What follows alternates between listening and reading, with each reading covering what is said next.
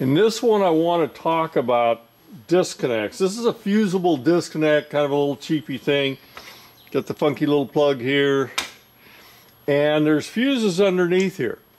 Well, these disconnects, probably the most common failure on these things is bad connections. It's sometimes diagnosed as uh, maybe there's a short someplace the system because the fuse blew. But let's take a look a little closer in this thing and we can determine why this thing failed. Now we've got the cover off this thing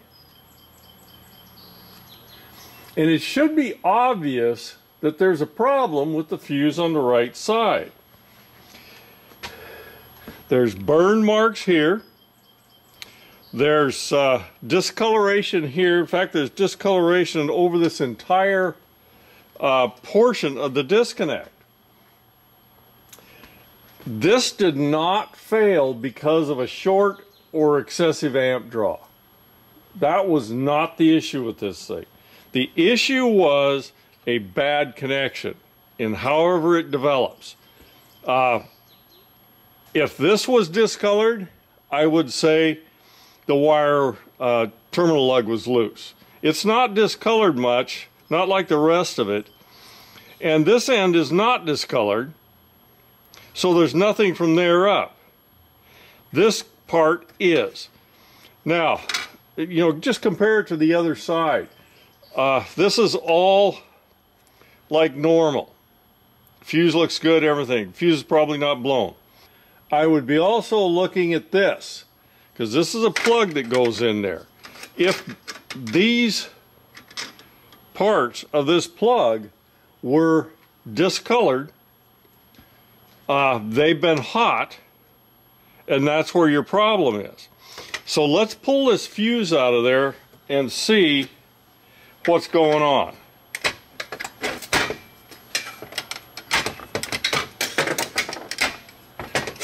Now a closer look at this fuse I mean, it's really obvious. This part is not discolored. This part is. So what's happened is there's a bad connection in the disconnect. And because of that bad connection, this overheated. Anything with a bad connection, a poorly tightened connection, whatever the heck, that means the fuse is, is going to blow because it got hot not because it was overdrawing. Now let's take a quick look at this part here. Now, if you look at this, and you look at this one, I can feel, it's a little harder for you to feel, but this is fairly easy to move apart. This is much harder. That's because this has lost its heat treating. These are copper pieces and they're uh, heat treated copper and when they get hot they lose the heat treating. These sometimes will get so soft they just bend all over the place like nothing. So, but you can see this whole thing when you compare it to over here, this one's all discolored. That is a bad connection and disconnect.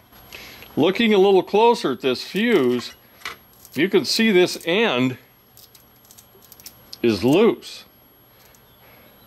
And a lot of times when you come to these things, uh, this whole part will be gone. It'll be burned away and there'll be diatomaceous earth laying all over inside the disconnect. But that's what's happened to this fuse. Do not consider when something like that happens to a fuse that it's the fault of the fuse. It is not the fault of the fuse. There's no short, there's nothing, there's no overdraw, anything like that. The disconnect is defective. And how it happened, uh, who cares? Uh, well, I care, I guess, but uh, if I saw it on the terminals, like here, like I said, or over here, I would uh, be concerned that the wires weren't tight. But the end result is when you uh, come on to this, don't try, try to squish these things down or something like None of that's going to work. Don't try to sand them off and make them clean because it's not going to help. You have to throw away the disconnect. That's also true of this part. Now, I've never found this part in the parts house. Maybe some guys can find them, I don't know. I doubt it. Because if this part is overheated, it's also overheated these parts in here. And again, the disconnect is toast. So, when you come on to something like this, with a fuse that looks like that, replace the disconnect.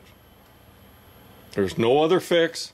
If you uh, try to squish it down, put a new fuse in it, whatever, all it will do is blow the fuse again. Uh, these things can be entirely melted inside. The plastic here could be melted. The plastic up here could be melted. All those things can happen. Usually due to either wires not being tightened or just for some reason this not making good contact. Uh, remember, when you tighten these terminals where the wires go, do not cut them any slack. Tighten them very tight. Give them a good solid reef because they are carrying the load and if they are loose, that's uh, it's going to cause a failure. I also, when I'm doing the service on, uh, say, an air conditioner with this disconnect on it, uh, I, uh, I tighten those wires in too. But anyway, that's what it is. If there is a failure where you have burned up looking parts like that, that's bad connections, not overdraw power. That's it on this one.